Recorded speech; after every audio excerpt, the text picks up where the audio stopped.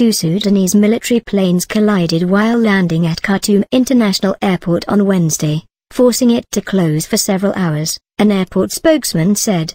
The transport planes were returning from training flights in the morning when the collision occurred, a military spokesman said. The planes, one an Antonov 26 and the other an Antonov 32, suffered severe damage but there were no casualties, the spokesman said.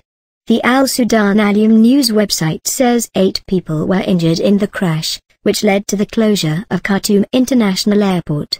Civil aviation spokesman, Abdelhafez Abdelrahim said that during the closure, international flights were diverted to Port Sudan Airport.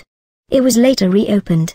A collision between two Sudanese army planes on the runway at Khartoum Airport on Wednesday injured eight people, officials said. The Soviet-era Antonov aircraft had landed within seconds of each other when the accident occurred, an airport official said. Eight people were injured and taken to hospital when two military planes collided at Khartoum Airport, said another official who spoke to AFP on condition of anonymity. Sudanese military spokesman Brigadier Ahmed Khalifa Shami in a statement said the two aircraft were military cargo planes, and added that the incident did not cause any losses.